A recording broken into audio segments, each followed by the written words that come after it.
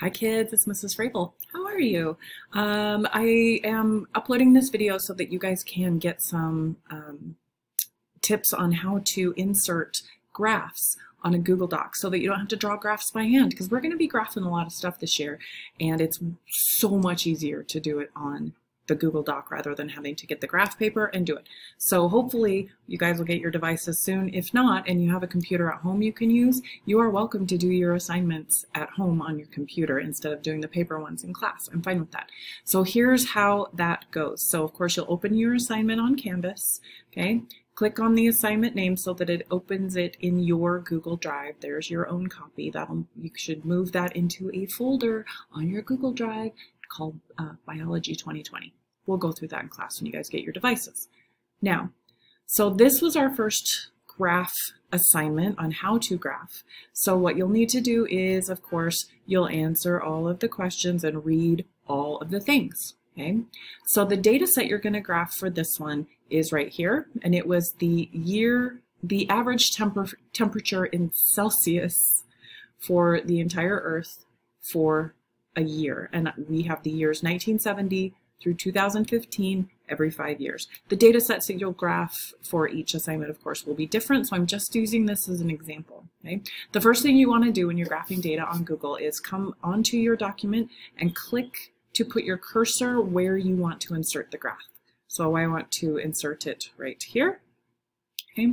Now I'm going to come up to Insert, click that, hover over Chart, come down to, this one's going to be a line graph, right? Because we're graphing something over time.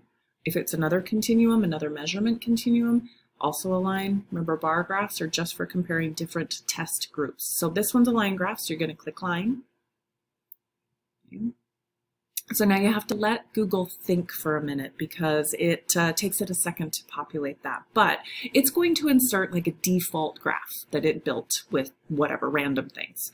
So what you'll want to do now is you have to edit this graph with our data. So you're going to click on it so that you see the blue box around the whole graph. And then you're going to come up to the right, left, right corner and you're going to click the little link little chain icon and click open source. That's going to pop open a spreadsheet that is going to be the source for your graph on your document for your assignment. You have to give it a minute to think. I know that's a pain. You guys hate waiting for stuff. Just give it a sec. It's gotta, it has to think about what it's doing. Okay, there it is. So there's the graph that it's moved over from where you inserted a graph in your document. Scroll up so that you can see the actual data. Now this is where you start to work, okay? Column A is going to be your x-axis, the one along the bottom. That is your, yeah, independent variable. This is the variable that we change, right? So you need to come up here and you're going to enter the values for each year. So we started with 1970, so put in 1970, hit enter, 1970, 1975, enter, 1980, enter, and 1985. That was a good year. I'm just going to do these four. You'll, of course, do all of them up through 2015. Okay. And then the B and C columns are your dependent variables. These are going to be the data points. And if you watch, those lines moved as I changed the bottom, right? As I change the year. So we only have one dependent variable in this particular graph. So we're only going to need one of these columns, so you have to get rid of one. But you can't just delete the data, you have to delete the whole column or Google will continue to try to put it on your graph.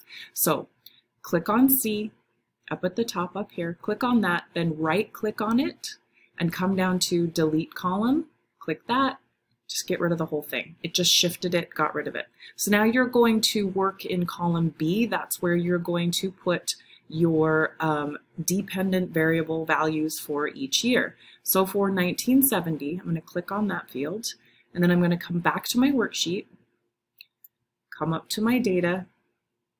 Okay, 1970, its value, its temperature in Celsius that year was 13.93. So I'm going to come back to my graph. I'm going to put in 13.93, hit enter. 1975, that was 13.90. 13.90. Uh, 1980 is 14.1. 14.1. Enter. Last one that I'm doing with you is 14.03. Okay. Wow, there's your new graph. That's a very, very flat graph. You can't read much on that data, right? Okay, so here's where we start to really build your graph. So you need to A, change the title, right? This isn't, we didn't score points in the average temperature of the year. So click on that graph and then double click on it. And again, give Google a minute to think. There it is. So what's going to pop up over here, let me, uh, let me get out of the way, I'll come over here. There we go. It's going to pop up your chart editor. Okay, this is where you're going to set your details. Remember those? You're going to set your details in here. So uh, the first thing you want to do is make sure it says line chart. Okay, you're going to hit customize and you're going to come down to chart and axis titles first. So this chart title is the first uh, first thing you're going to populate.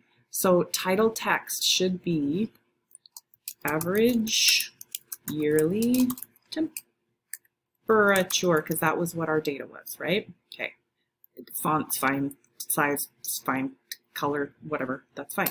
So you're going to hit that, enter, and then you're going to come back up to here and see how it's a drop-down menu. Now we're going to do our axes. So you're going to hit uh, horizontal axes, title, because we always have to label our axes, right? So those are year with 1A. There, look, it populated over here. It's building that. Good. And enter, and then I'm going to drop this down again, and I'm going to do my y-axis, my vertical axis title, and that was degrees Celsius. Okay, oh look, puts it right in there. Gosh, dang it, Google's smart. Okay, again, font, if you want to mess with any of those, but that should be fine. So we've filled in those details. Now we need to fix the flatness of this line. We want to make sure, you always have to make sure that your interval and your scale on your axes is uh, a good representative of being able to visualize your data. So uh, the horizontal axis, that's fine. Every year has its own spot, right? And as you add more years in, it's going to tighten those in. Your y-axis, however, has a little too much spread. It starts at zero and it ends at 15. It's always going to default to zero. You can change that to make your data look better. So, and to be, have it actually look more accurate. I shouldn't say look better. It's going to be more accurate if you tighten that up. So come back over to your document or to your data set, and we're going to look at our lowest and highest values. So the lowest yearly temperature was 13.9 and the highest is 14.8. So I'm going to set my spread on that a little bit more tightly. And to do that, I'm going to come down to vertical axis. Remember, the horizontal axis was fine. We didn't need to change those. But we're changing our vertical axis. So click on that to unfold it. And I'm going to set my minimum value at 13. And I'm going to set my maximum value at 15 because all of our data points fall in between those two values, right? Okay, so that has now adjusted our line so that we can see how the data trends more accurately. And as you go in and add the rest of your year and um, dependent temperature values, it's going to start to uh, build that graph even more. You can see the trend better, okay? So once you put in all your data, you're going to then come back over to your worksheet, go down to the graph that it inserted, and it still looks the same. We gotta fix it. We're gonna pull in the graph that you built from the source. So again, it should, if you click on it, just click anywhere on it, it should pop up this button update since you updated it on another document. Click update, give it a minute to think, and it's going to put in the beautiful graph that you built over here from the source, okay? All right, that's it. If you change anything over here, you need to be sure to come back over here and hit that update, okay? and it'll, if you've made any changes, it will offer the update button. Okay, all right, that's it. Any questions? Not just kidding. If you have questions, please message me on Canvas or on Remind. And um, good luck. Have a great day. I will see you soon in class.